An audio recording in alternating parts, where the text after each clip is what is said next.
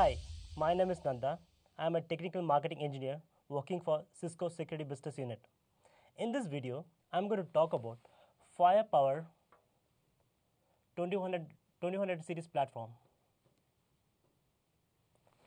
It's a mid-range firewall for internet edge and branch office segment. This firepower firewall is purpose-built hardware for Cisco's next-gen firewall, which is Firepower Threat Defense. We call it as FTD. This platform has four models. We have Firepower 2110, Firepower 2120, 2130, and 2140. All these four platforms are one rack unit which only consumes one rack unit on your rack space. This Firepower 2110 and 20 has 12 ports, 1 gig fixed Ethernet interface. Additionally, we have 4 port SFP interface which is of 1 gig speed. On 2130 and 40, we have a 12 1 gig fixed Ethernet interface plus we have 4 port SFP plus interface which is of 10 gig interface speed and we have one network module which can take 8 SFP interface which is supports 10 gig interface. On this all four models we have two SSD slot. So by default the one SSD uh, comes with uh, with uh, SSD hard drive which primarily runs firepower threat defense software. The second SSD slot is optional. It can take an 800 GB of hard drive which is primarily used for MSP which is malware storage pack. If you have AMP license enabled and the second SSD slot with 800 GB hard drive, if this firewall sees any mal malicious file or unknown file, it can be stored on this extended hard drive for future investigation. This Firepower uh, 2100 series platform with FTD can be managed with three different management software. First is FMC, which is Firepower Management Center. Second, we have Firepower Device Manager, which is FDM. And third, we have CDO, Cisco Defense Orchestrator. When you have multiple device on your network, it could be your Firepower 2100 or 4100 or 9300 or your ASA with ASA-X series with uh, FTD running. If you want central, you want to manage all this device centrally, you can use Firepower Management Center. Apart from man managing all the configuration, it can also receive logs from all the devices and correlate with these events. If you have only one device in your network,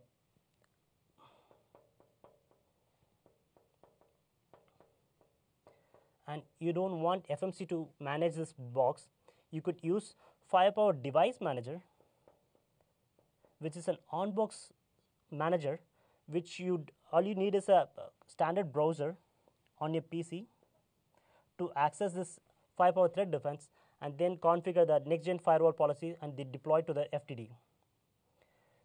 When you have multiple firewalls deployed across ge geographical locations and you want a centralized policy management through cloud, then Cisco Defense Orchestrator will be a preferred choice. This has uh, inbuilt standard tem security templates which you can use it to deploy um, security policy across all the platforms consistently. The next session we are going to look at hardware architecture of this Firepower 2100 series platform. So now let's look at into hardware architecture of this Firepower 2100 series platform. This platform has dual processor. We have two processors here. One is NPU, which is network processing unit, and the other one is x86. Apart from all other competitor products, this platform we have dual processor, which each has its own dedicated functionality. On the NPU, we have basic firewall functions, basic firewall such as 5 tuple, policy based on 5 tuple, NAT, quality of service, stateful inspection,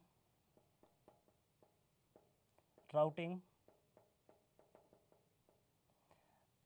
and high availability.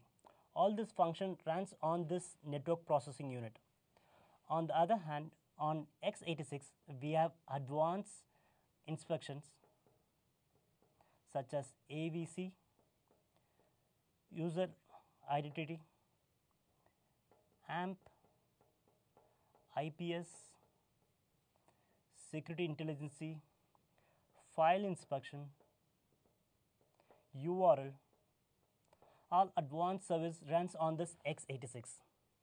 The advantage is, as you all know, in the firepower threat defense, we have two policies. The first is pre-filter policy.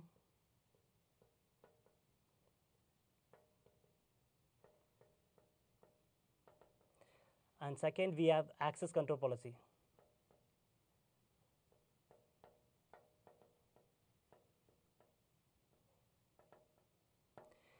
in pre-filter policy, we have primarily three different actions. One is block, fast path, and analyze.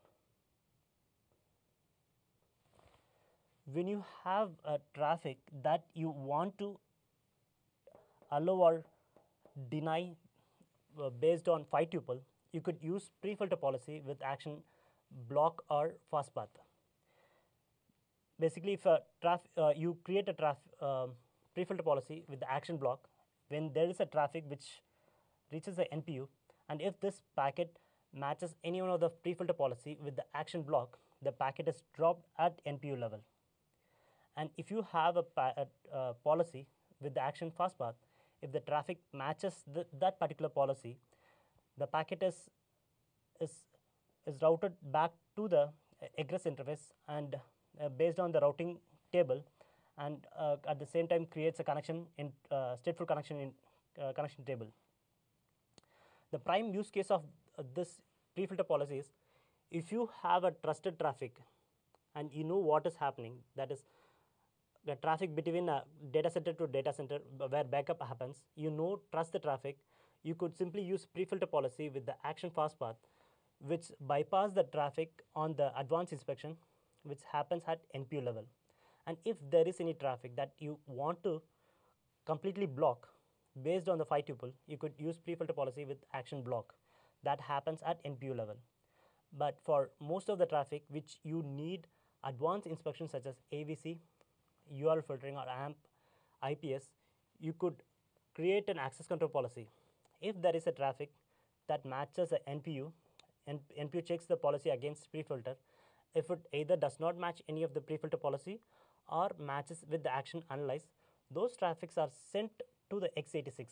Once the, uh, the x86 takes the packet and checks against the access control policy, based on the rule and the act, uh, and the policies with the actions, the x86 sends a verdict back to the NPU. Based on the verdict, the NPU allows the packet or drops the packet.